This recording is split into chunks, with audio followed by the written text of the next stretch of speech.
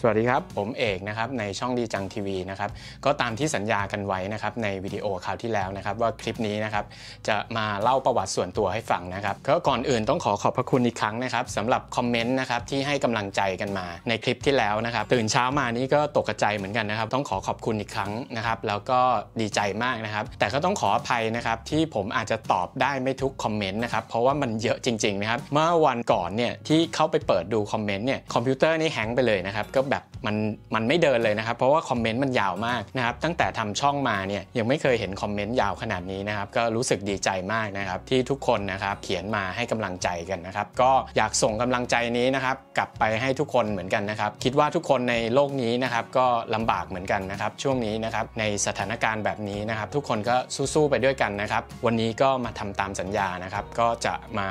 เล่าเรื่องประสบการณ์ของตัวเองนะครับ แล้วก็ความเป็นมาต่างๆนะครับที่เขียนถามกันเข้ามานะครับ วันนี้ผมก็จะพยายามเล่าให้มันกระชับมากที่สุดนะครับ ตอนแรกนะครับผมก็คิดอยู่เหมือนกันอยากมาเล่าประสบการณ์นะครับให้ฟังแล้วก็มันก็รู้สึกแบบ เขินๆอายๆนะครับ เพราะเหมือนเราคุยอยู่คนเดียวนะครับ ก็เลยตัดสินใจนะครับ เชิญพิธีกรรับเชิญมานะครับ วันนี้ก็จะมาเป็นผู้สัมภาษณ์ผมนะครับ แต่ตอนนี้ยังไม่ถึงเวลานะครับ ก็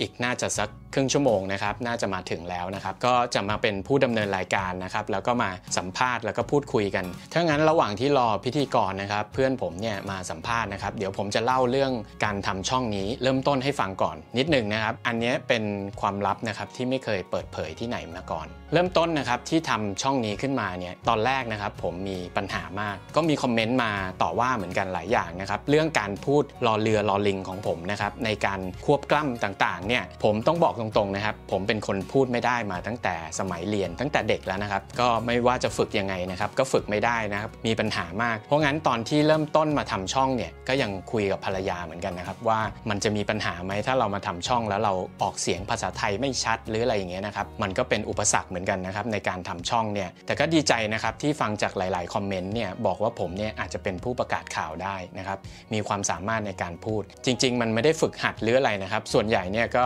ตลอดชีวิตการทำงานเนี่ยส่วนใหญ่ก็จะฟังเขามากกว่า ไม่ค่อยได้เสนอความคิดเห็นหรือพูดอะไรนะครับ ก็มีโอกาสนะครับได้ทำช่องเนี่ยได้เปลี่ยนบุคลิกตัวเองนะครับต้องขออภัยไว้อีกครั้งหนึ่งนะครับในการใช้ภาษาไทยของผมนะครับถ้าผิดพลาดประการใดก็ขออภัยด้วยนะครับ อันนี้คอมเมนต์ต่างๆ เข้ามาเนี่ยบางคนเข้าใจนะครับที่ว่าภาษาไทยต้องเป๊ะๆนะครับ บางคนฟังก็รู้สึกตกใจนะครับ อันนี้มันไม่ใช่สายงานหรือสายอาชีพของผมนะครับ อาชีพของผมจริง ๆ ก็คือการอยู่ในห้องครัวทำกับข้าวนะครับ โอเค เดี๋ยวมาเข้าเรื่องช่อง YouTube กันเลยนะครับ ว่าทำไมผมถึงทำอันนี้ก็เป็นความลับจริง ๆ นะครับ ที่ผมไม่เคยเปิดเผยมาก่อน ผมกับลูกชายเนี่ยเป็นคนอชอบเล่นเกม ส่วนใหญ่เนี่ยลูกชายผมจะถนัดเล่นเกมมากกว่า ผมเนี่ยก็จะเล่นเกมพวกไม่กี่เกมหรอกครับ ปีปีหนึ่งเนี่ยจะเล่นเกมอยู่เกมพวกเกมกีฬานะครับ อย่างใครรู้จักดีก็พวกฟีฟาหรืออเมริกันฟุตบอลเนี่ยผมจะเล่นอยู่แค่นี้ส่วนใหญ่เกมอื่นเนี่ยผมไม่เคยเล่นเลย แล้วก็ไม่ค่อยได้เล่นไม่อยากเล่นด้วยนะครับวันหนึ่งเนี่ยก็ลูกชายก็ดูช่อง YouTube เยอะๆนะครับแล้วก็เกิดความคิดขึ้นมาว่าเออทำไม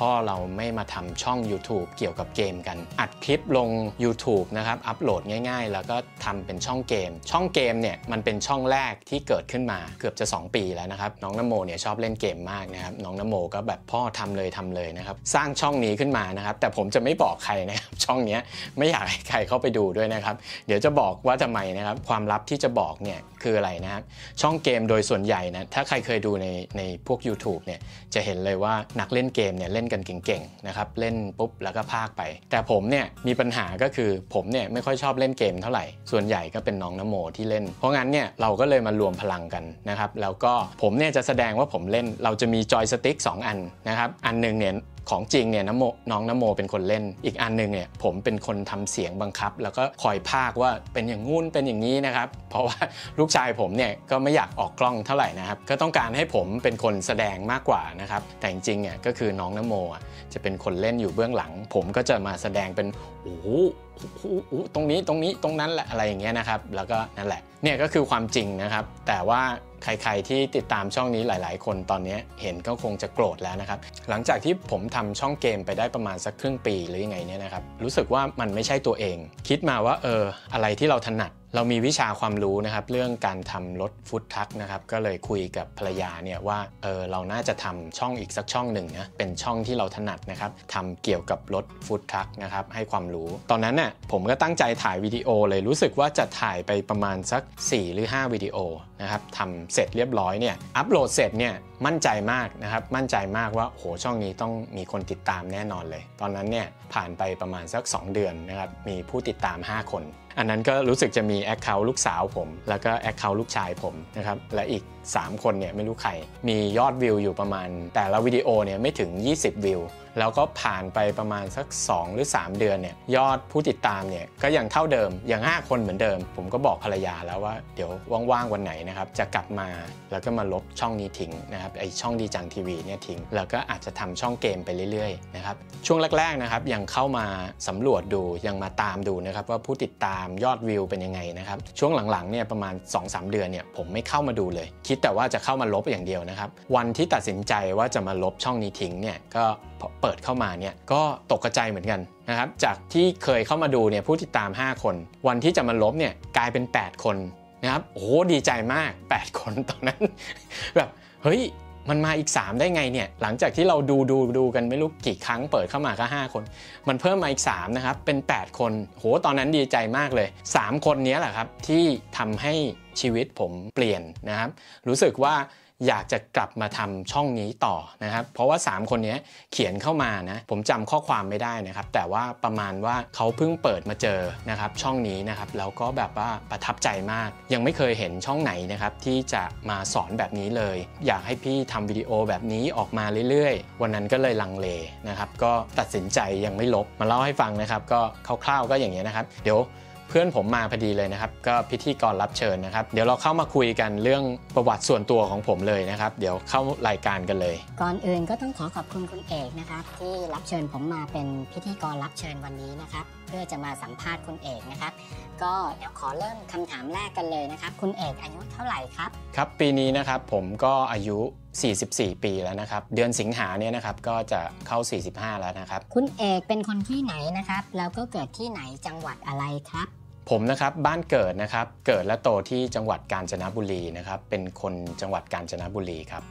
คำถามต่อไปนะครับ คุณเอกเรียนหนังสือแล้วก็จบมาจากโรงเรียนไหนบ้างครับ ตรงนี้นะครับก็ถ้าให้บอกตามตรงนะครับ จริง ๆ แล้วเนี่ยผมก็ไม่ค่อยอยากจะมาเล่าเลยนะครับ ในสมัยวัยเรียนตอนเด็ก ๆ นะครับ ก็เป็นคนที่เป็นคนที่จะเรียกว่าอะไรอะเกเรอาจจะไม่ใช่เกเรนะครับ น่าจะเป็นแบบไม่ค่อยเอาใจใส่เรื่องการเรียนมากกว่านะครับ ก็เรียนส่วนใหญ่ก็จะมีปัญหานะครับ เรียนไม่ค่อยเก่ง ไม่ว่าจะเรียนห้องไหนชั้นไหนนะครับ ก็ส่วนใหญ่นั่งหลังห้องตลอดนะครับ ลัวคุณครูมาก นะครับกลัวคุณครูให้ทำโจทย์ทำเลขทำอะไรเงี้ยผมก็จะไปหลบอยู่ข้างหลังคอยหลบสายตาคุณครูนะครับเดี๋ยวเริ่มต้นเลยเนี่ยผมเรียนตั้งแต่อนุบาลนะครับถึงป .6 เนี่ยเรียนอยู่ที่จังหวัดกาญจนบุรีเนี่ยนะโรงเรียนอนุบาลกาญจนบุรีนะครับก็แล้วหลังจากนั้นเนี่ยก็มาต่อมัธยมนะครับมาต่อมัธยมก็คือม .1 ถึงม .3 เนี่ยผมได้เข้ามาเรียนที่โรงเรียนหอวังนะครับก็จบที่โรงเรียนหอวังนะครับจำได้ว่าตอนม 2 ม 3 เนี่ยเริ่มจะเล่นมากกว่านะครับเล่นมากกว่าเรียนละไม่ค่อยตั้งใจเรียนเท่าไหร่ บางวิชาเนี่ยก็สอบตก หลังจากม 3 เนี่ยนะครับคราวนี้ก็ต้องเลื่อนชั้นไปม 4 ม 5 ม 6 ผมเนี่ยก็ได้เป็นตัวแทนนะครับของโรงเรียนหอวังเนี่ยได้ไปเรียนต่อที่อื่นนะครับก็คือโรงเรียนหอวังเนี่ยไม่เอาแล้วนะครับเขาก็จะส่งคนที่มีความสามารถนิดหนึ่งนะครับไปเรียนต่อที่อื่นนะครับ ตอนนั้นก็จากโรงเรียนหอวังนะครับ โรงเรียนในวังนะครับ ก็ไปเรียนโรงเรียนวัดเลย คนที่พอช่วยเหลือตัวเองได้นะครับ ที่มีความสามารถหน่อยก็ได้ออกไปผจญภัยนะครับ นอกโรงเรียน คนที่ยังช่วยเหลือตัวเองไม่ได้ตอนนั้นก็ได้เรียนต่อม 4 ม 5 ม 6 อันนี้ล้อเล่นนะครับ ไปโรงเรียนวัดเบญจมาบพิตรนะครับ ตอนนั้นตอนนั้นยิ่งไปกันใหญ่เลยนะครับ หลังจากที่ไปโรงเรียนวัดเนี่ยหอวังเนี่ยเป็นโรงเรียนชายหญิง พอไปโรงเรียนวัดเนี่ยชายล้วนนะครับโอ้โหตอนนั้นสนุกสนานยิ่งยิ่งเละเทะเลยนะครับ ตอนนั้นน่ะวัดเบญนี่ก็เป็นความทรงจำที่ดีนะครับ คราวนี้มาถึงตอนเอนทานเนี่ยนะตอนนั้นก็ไม่ต้องพูดถึงเลยนะครับเพราะว่าจะไปเข้ามหาลัยอะไรดีๆนะครับตอนนั้นจำได้เลยนี่เขาจะต้องมีแล้วนะในใจเลยนะว่าโอ้โหอันดับ 1 อันดับ 2 นี่เตรียมเลือกอะไร มันไม่ได้อยู่ในในสมองผมเลยนะครับเอนทรานไปแล้วเนี่ยก็ไม่ได้นะครับแล้วก็ราชพัฒราชพัฒนี่ก็ยังไม่ได้ก็ไปสอบเหมือนกันไปสอบแต่ก็ไม่ผ่านไม่ได้เลยสักที่หนึ่งหนทางเดียวนะครับที่จะเรียนหนังสือก็คืออสุขโขทัยธรรมาธิราช ตอนนั้นผมไปจ่ายตังค์ไว้เรียบร้อยแล้ว ได้แบบการเรียนได้อะไรมาหมดแล้ว บัตรนักเรียนเรียบร้อยแล้ว จะเริ่มเรียนแล้วพอดีว่าราชพัฒจันเกษมนะครับเปิดรอบ 2 ขึ้นมานะครับผมก็เลยได้เข้าไปเรียนที่ราชพัฒจันเกษมแทนนะครับแทนที่จะไปสุขโขทัยธรรมาธิราช มหาลัยนี่ยิ่งไปกันใหญ่เลยนะครับ ยิ่งสนุกสนานนะครับก็ตอนนั้นไปในสาขาของวิทยาการคอมพิวเตอร์นะครับตอนนั้นนะฮะมหาลัยนี้โอ้โหเละเทะมากนะครับหลังเลิกเรียนนะครับก็ไปกินเหล้านะครับสูบบุหรี่ สูบบุหรี่หนักมาก ช่วงนั้นก็ไปไปมามาแล้วนะครับก็เรียนจบจนได้นะครับได้รับปริญญาในสาขาวิทยาการคอมพิวเตอร์นะครับคำถามต่อไปนะครับ ก่อนจะมาอเมริกาคุณเอกได้ทำงานอะไรก่อนที่จะมาอเมริกาหรือเปล่าครับ ครับก่อนจะมาอเมริกาเนี่ยนะครับตอนนั้นหลังจากที่เรียนจบแล้วนะครับสุดท้ายก็มาได้งานนะครับเป็นงานเกี่ยวกับคล้ายๆ จะเรียกว่าคอมพิวเตอร์กราฟิกแล้วกันนะครับก็แต่งภาพทำอะไรอย่างเงี้ยนะครับผมก็ได้มีโอกาสไปทำงานอยู่ที่นั่นประมาณสัก 3 ปี ก็ชีวิตเนี่ยก็ส่วนใหญ่จะไม่ได้ทำงานหนักนะครับก็จะอยู่แต่หน้าคอมพิวเตอร์ ก็อยู่หน้าคอมทั้งวันทั้งคืนนะครับอันนั้นเป็น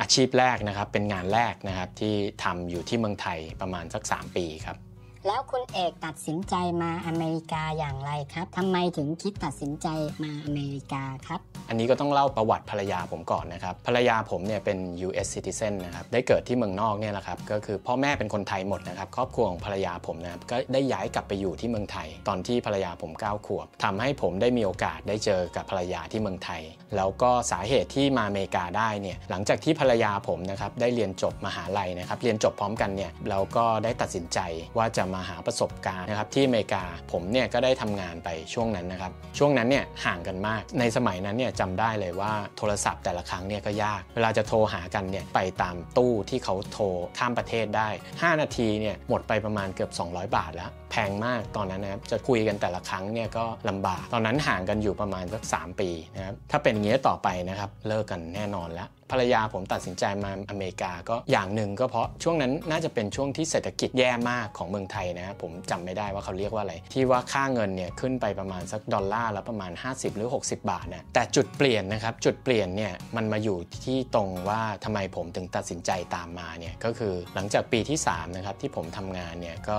คุณแม่ผมเสีย นะครับในช่วงนั้นเนี่ยพอคุณแม่เสียเนี่ยก็เลยมีความรู้สึกว่ามันไม่มีอะไรละ มันไม่มีอะไรที่น่าจะต้องเป็นห่วงนะครับหลาย ๆ อย่างพ่อก็เสียแล้วคุณแม่ก็เสียแล้วนะครับ ก็เลยก็คิดอยู่เหมือนกันว่ามันก็เป็นโอกาสสุดท้ายนะครับที่ว่าจะต้องตัดสินใจแล้วว่าจะเอาอยัางไงดีนะครับถ้าจะมาอเมริกาได้เนี่ยนะครับก็มีวิธีเดียวก็คือจะต้องทำเป็นเรื่องเรียนหนังสือมา เป็นโอกาสสุดท้ายแล้วที่ว่าจะต้องไปขอวีซ่าดูนะครับตอนนั้นจำได้ว่ามันจะต้องเอาบัญชีของผู้ปกครองเนี่ยไปขอวีซ่าด้วยนะครับเพื่อไปยืนยันให้เขาว่าเออเรามีผู้ปกครอง ถ้าวันนั้นเขาบอกว่ามาไม่ได้นี่ก็คือจบนะครับตอนนั้นผมก็เลยได้วีซ่าผ่านนะครับทุกอย่างก็เลยเดินหน้าต่อนะครับอันนี้ก็เป็นเหตุผลที่ทำไมถึงตัดสินใจมาอเมริกานะครับก็มาด้วยวีซ่าวีซ่านักเรียนมาเรียนภาษานะครับแล้วคุณเอกได้พบกับภรรยาได้รู้จักกับภรรยาเมื่อไหร่ครับ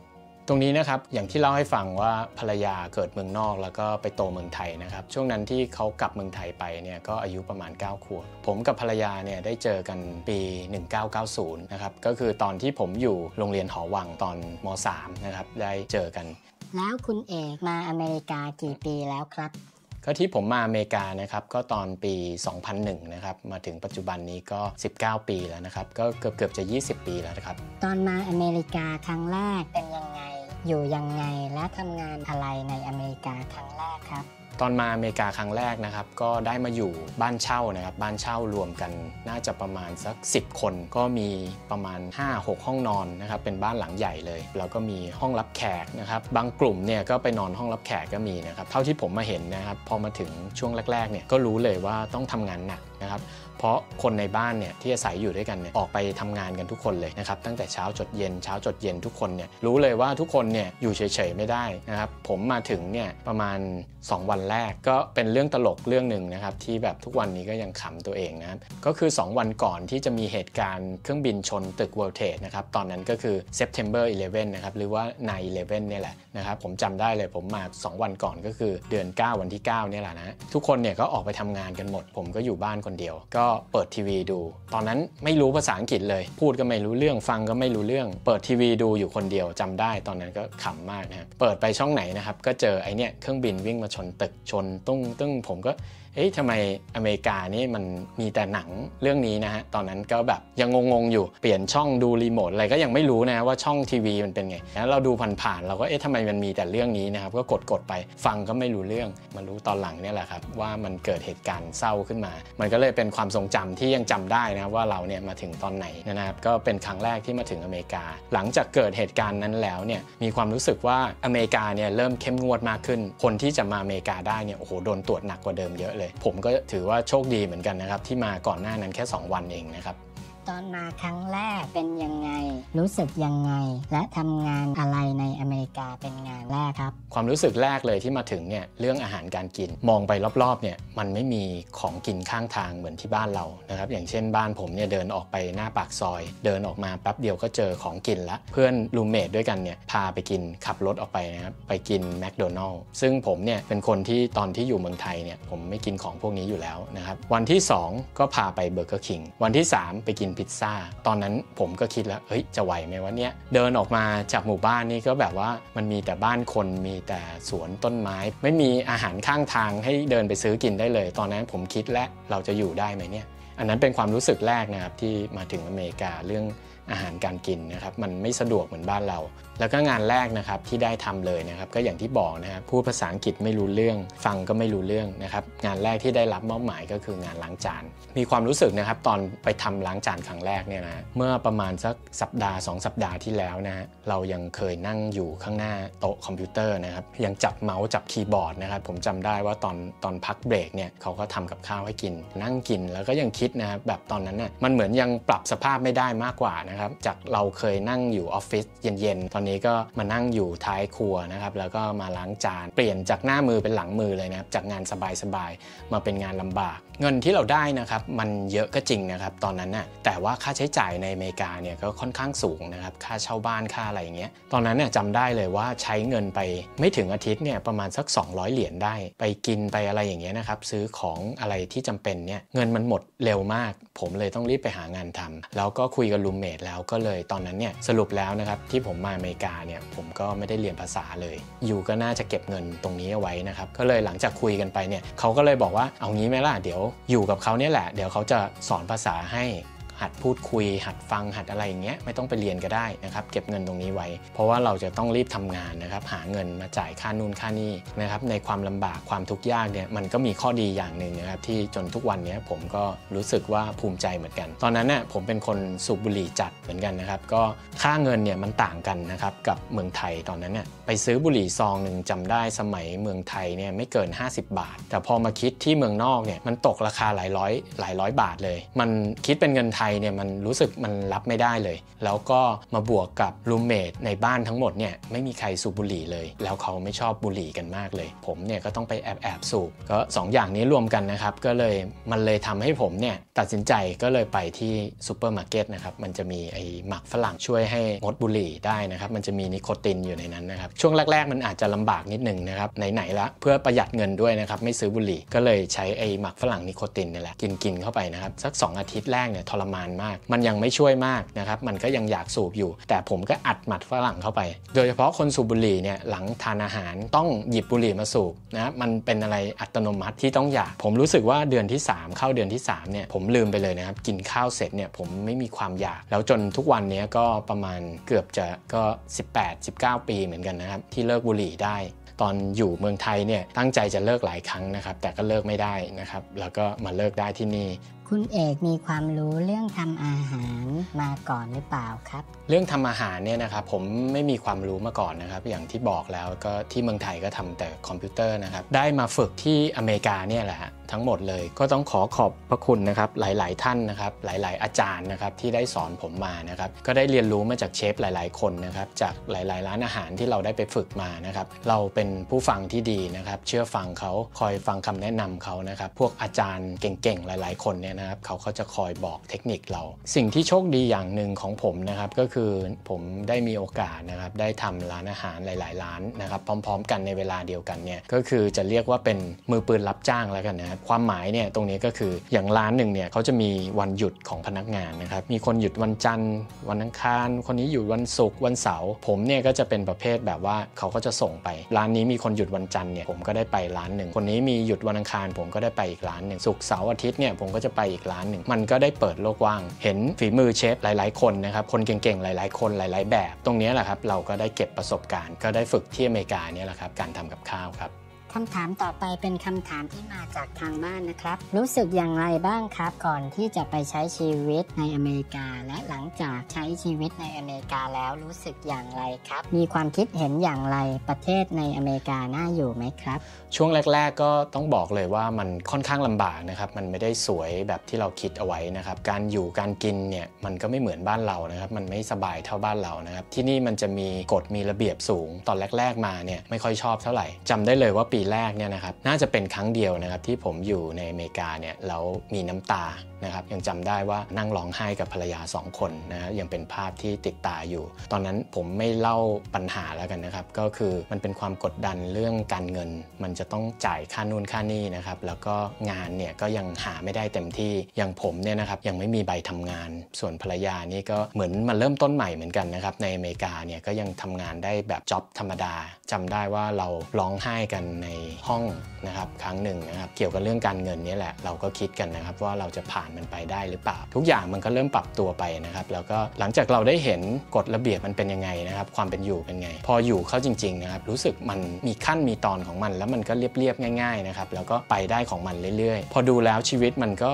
สบายๆมากกว่านะครับตอนนี้ก็รู้สึกว่าชอบนะครับแต่ทุกครั้งก็ยังคิดถึงเมืองไทยอยู่นะครับยังคิดถึงอาหารยังคิดถึงอะไรหลาย ๆ อย่าง ถ้าจะให้เลือกที่ใดที่หนึ่งเลยเนี่ยมันก็คงยากนะครับว่าที่ไหนดีกว่ากันนะครับถ้าเลือกได้เนี่ยก็อยากได้บางอย่างของเมืองไทยอยากได้บางอย่างของที่นี่มารวมกันนะครับ แต่มันคงเป็นไปไม่ได้นะครับ ก็วันนี้ต้องขอขอบคุณคุณเอกมากนะครับ ที่สละเวลามาตอบคำถามจากทางบ้านมาเล่าประสบการณ์ชีวิตความเป็นมาของคุณเอก ให้ทุกๆ คนฟังนะครับ ถ้ามีโอกาสคราวหน้า ก็อยากเชิญคุณเอกมารายการอีกครั้งนะครับ ช่วงสุดท้ายนี้คุณเอกมีอะไรจะฝากถึงผู้ชมไหมครับ ก็ผมก็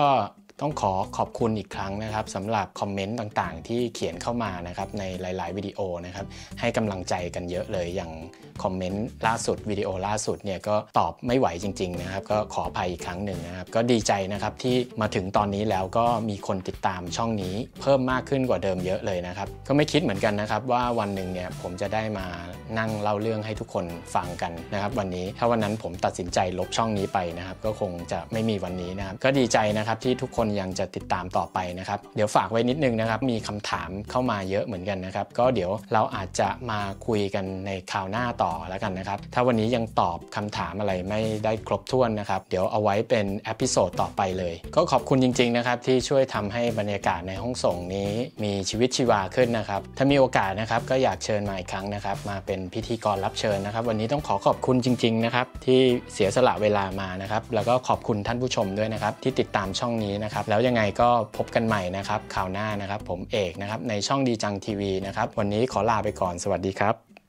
ดีใจมากเลยนะครับ ไม่ได้เจอกันตั้งนานเฮ้ยอย่าเพิ่งเหนื่อยนะครับอย่าเพิ่งคอตกนะ เดี๋ยวเดี๋ยวเดี๋ยวตั้งดีใจมากครับ น่ารักจริง ๆ เลย โทรไปก็รีบมาเลยนะ โอเคกลับบ้านได้อืมได้นั่งเก้าอี้อย่างดีเลยนะครับ พิธีกรรับเชิญเราวันนี้ โอเค bye bye ครับ ขอให้ทุกคนมีความสุขนะครับ bye bye ครับ